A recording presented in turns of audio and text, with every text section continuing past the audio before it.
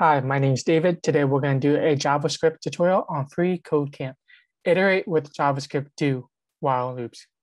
So here's another kind of loop. It's called do while loop.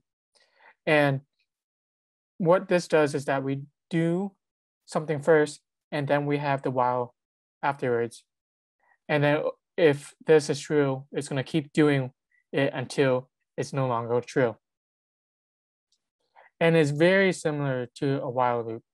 And we're going to talk about the difference. If we look at this one, we're having an array, we have i equals 5, and then while i is less than 5, array dot push i.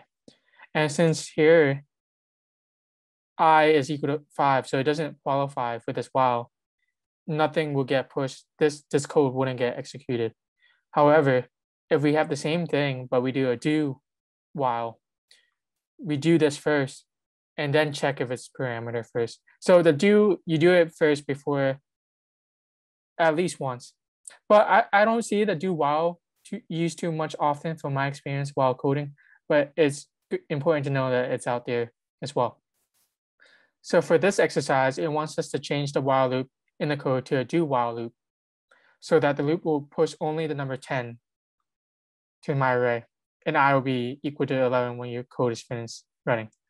Okay, so I'm gonna comment this out so we can have it for reference, but we're gonna write something else new. So we wanna do while. So we have to do first, do, and then inside of this, what do we wanna do? We wanna push i to the array. So my array dot push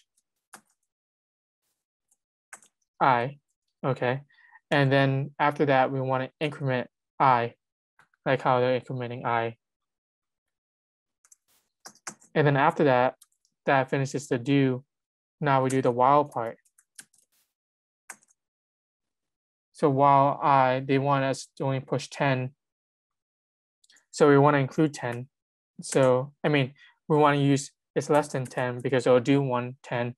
It's going to increment i to 11. And then it'll only run once. And my array will be pushed. And this should be like that. And now if we console log it, my array, we can see that 10 is pushed into it. And that'll be all for this one. Thank you so much.